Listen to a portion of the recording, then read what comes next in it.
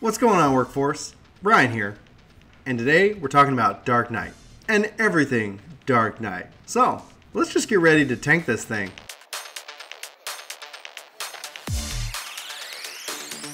Hello, everybody, and welcome to the controller and layout guide. Here we're going to be talking about how I've positioned all of my abilities on the controller itself.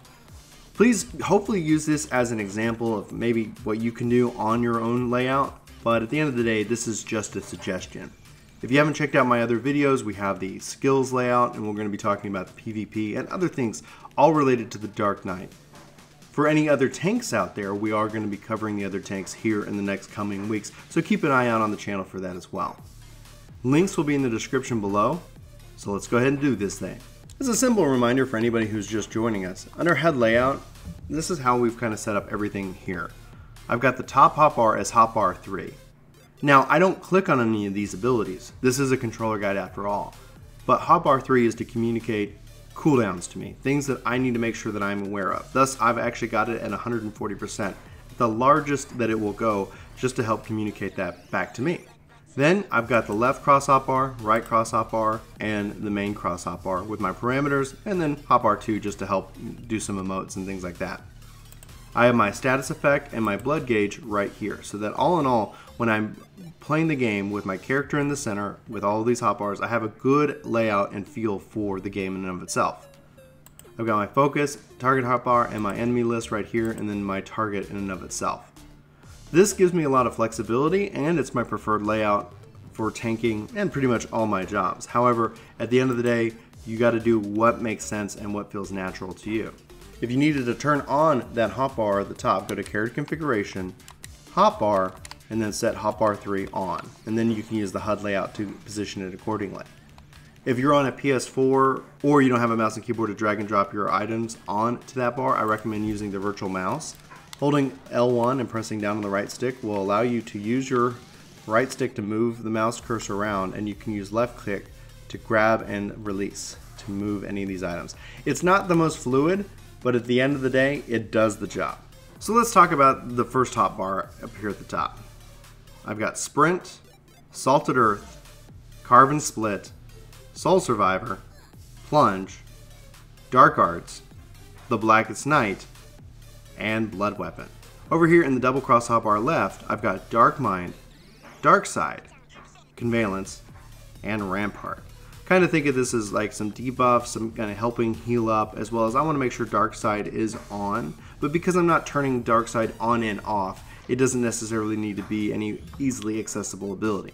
Then on the left cross-up bar, I've got Abyssal Drain, Quietus, Dark Passenger, Dark Arts.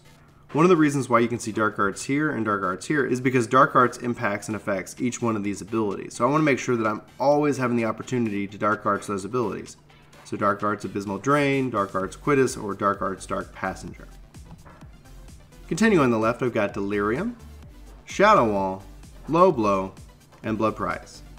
I have Low Blow right here because any job that I play that has a stun is always going to be in this position. Muscle memory is key to success in this game, really in any game specifically, so I want to make sure that no matter what job I'm playing, if I have a stun or the need to stun, it's always in the same spot.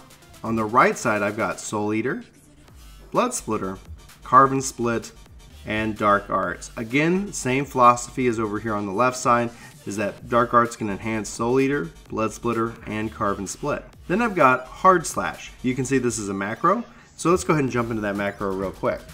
You can see I have macro icon hard slash, then hard slash, and then unmend. So what this does is that hard slash, if it's unable to hit because maybe I'm too far away, it's going to use unmend.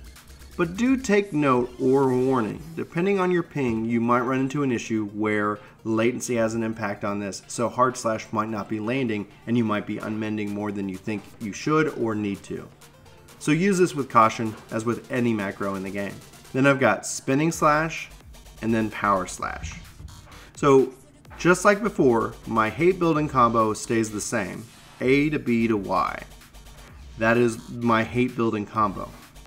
Then I've got Syphon Strike, so A to X to Soul Eater, or Delirium or Carve and Spit. So I've kind of got my damage rotation kind of built up off of this kind of controller motion. And then I've got my tank building, which is off of this controller type motion. On the right hand side, I've got a Mega Potion. This could be anything you want it to be. Unleash, Reprisal, and Blood Weapon. Reprisal being a cross role skill, Low Blow being a cross role skill, Rampart being cross role, Convalescence being cross role. Feel free to replace these with any of those cross role abilities that you have to choose from. And then finally on my extended cross hop bar, L trigger and then right trigger, you can see these abilities. To make it easy on myself, that is, I have it set to hop bar 2. So I macro Living Dead in this case. Now all that is is Living Dead plus a party message letting the healer know that I've used that ability, kind of hopefully help call to mind that they need to pay attention, especially if it tricks me into Walking Dead. Grit, obviously my take stance. Don't need it all the time, so I just have it there for easy placement. Provoke, if I need to be able to grab an enemy or switch targets while tanking. Sole Survivor. This obviously is a great ability, but with the long cooldown, that's why I have it here in my top hot bar, is that I want to make sure that I use it, but it's not necessarily something that I'm using all the time. Salted Earth macroed. So you haven't seen this ability, so the only reason I have Salted Earth macroed is because I use this T targeting command. This makes it easily selectable. So instead of having the ground target itself, just using the ability is going to place it wherever I'm targeting. Then I have Blackest Night, Blood Weapon, and plunge. I used to have plunge macro to my main attack. However, when running Royal Menagerie and some of these other fights, I found that it would plunge when I really wasn't wanting it to. So I've moved it to be have so I moved it out of the macro to have a little bit more control of the ability itself. And then finally on my shared hotbar, the only change that I've made is I've added sprint to the topmost command. This means that any job that I'm on, I can sprint easily.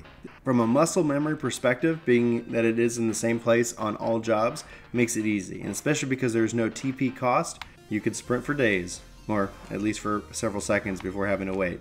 Anyway, that wraps this up for me. My name's Brian, and this is Work to Game. Hopefully, this controller guide's been helpful. Hopefully, you've gotten something out of it. Hopefully, you're able to go and enjoy Dark Knight as a job in the world of Final Fantasy XIV. Thanks so much for watching this video. I hope to see you in my next. And until then, take care.